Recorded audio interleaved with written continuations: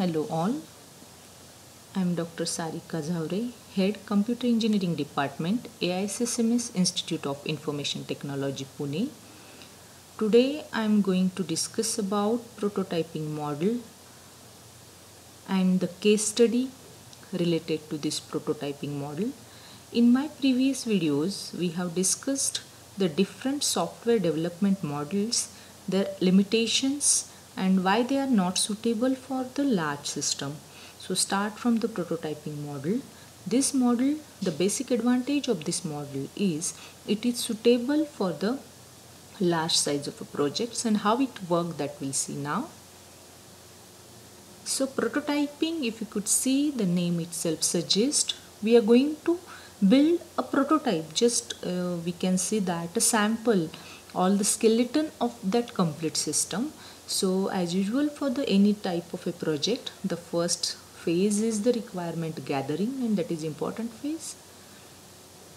Then proto in case of a prototyping model, the quick design means whatever the customers are giving, the mm, quickly designed by the designer or we can say that the project management team quickly design that that prototype get created that prototype is discussed that prototype is discussed with customer again.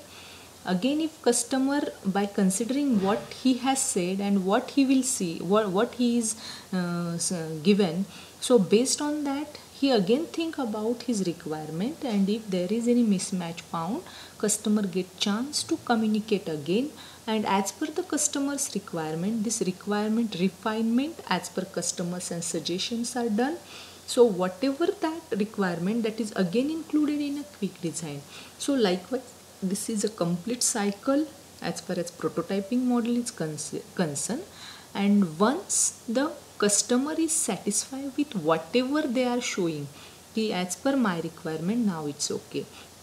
So then that is considered as a final um, requirement of that particular software so what is the meaning of this prototyping is that this actually taking more efforts on the requirement refinement gathering and refinement.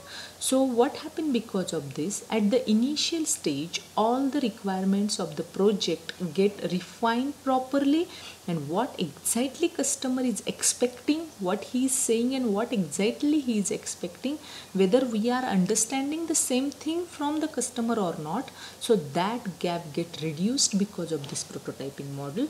So pure what we can say requirements will be there in the hand of the project management team. And now as usual whatever our software development model we can say that a basic model that is waterfall model. So based on that model the development of that project gets started so whatever the designing prototype design is ready now that design and this design is the different. This design is for from the implementation point of view so that developer team can make use of that design document um, to, for the further implementation so after implementation testing then maintenance then deployment of that project and uh, again all are having as we are talking about the iterative um, uh, waterfall model. So there is the iteration means each and every phase get communicated with each other and the refined product will get ready. So if you can see prototype is not very much a new concept but just by adding these two different phases means initial part is the prototype design and second part is the iterative model waterfall model. See without iterative or without waterfall model or the structure like waterfall model it is not possible to implement any project. But whatever the limitations of iterative model that this prototype model is overcome and then the structure is something like this so uh, the advantages of prototyping model model are fixes the customer requirement. Yeah just now whatever we have seen ki, repeatedly the customer get involved in that project. So whatever you are saying is it like this? So repeatedly the project management team is asking them a question by showing them some what we can say documents or showing them some prototype of their system. So that's why the fixes the customer requirement prototype helps to clear the logic of the system to developer as well as customer. So because prototype design is different and then again design part is there. That's why it's very much clear to project management team also what exactly customer wants. Prototype helps a lot in actual development.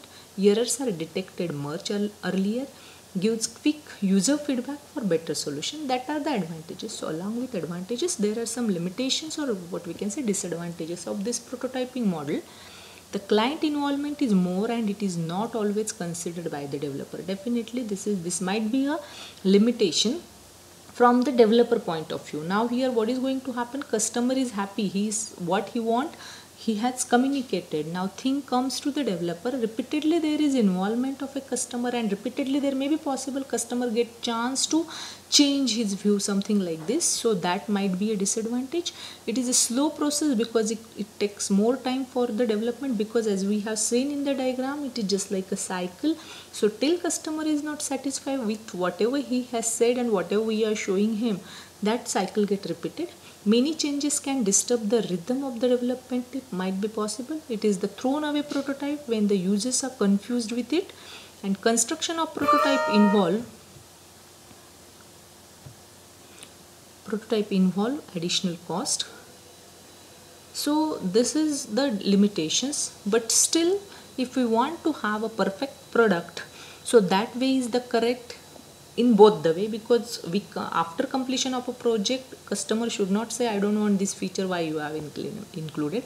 And there may be possible development team say you have already said that's why we have to avoid that gap that prototyping is the mm, best solution so um, in view of that suppose whatever this hospital management system from last uh, in last video also i am taking the reference of this uh, what we can say case study. So here also we can consider the same case study. So it is like uh, GUI and its forms how the forms will look like. In this way the system will appearance of the system. So if we consider the prototyping for model for this particular system so suppose these four are the features for this hospital management system we are considering.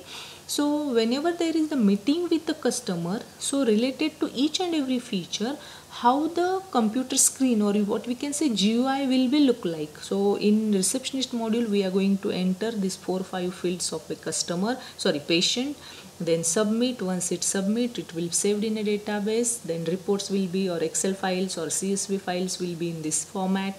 So all these features and related to their formats get discussed with the customer.